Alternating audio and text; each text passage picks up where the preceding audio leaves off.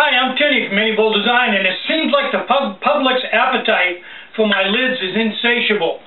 Uh, I'm selling like 30 lids a day, so uh, I've had to find easier ways to do things.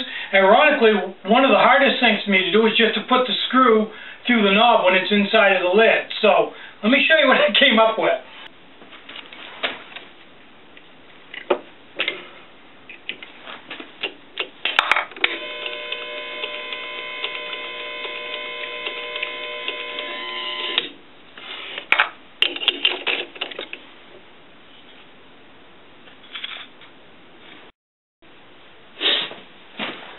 The reason why I went to that was because the knobs are oiled, they're a rock maple that's been oiled, is hanging onto them and driving the screws in.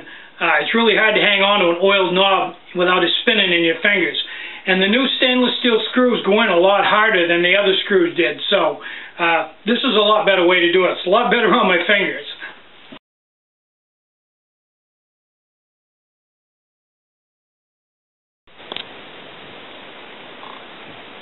I lost a bearing in the windmill last night, so today I uh, locked it out and then cranked it down to get it out of the wind. Uh, when things slow down and warm up, I've got to take it apart and put a new set of bearings and seals in it.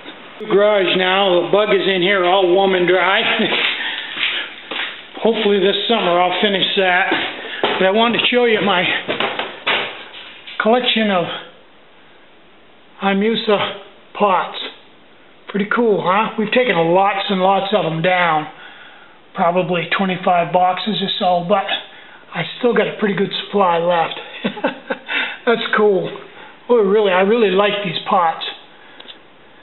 I waited and waited for some alternative to the beer can pot, and finally, when I saw these, I jumped on it because I knew the price was right and the design was right.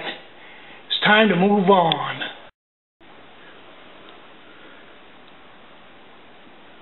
I got all the fenders for the Volkswagen and everything else to finish it out in the other shop. I actually, actually they're up here in this building.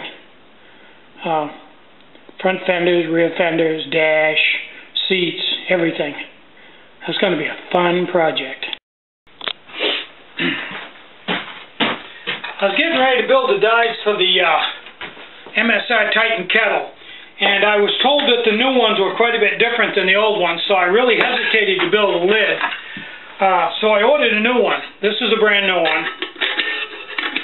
It's got the same tight lid as the old one. You can pick it right up. So, uh, this is the old one.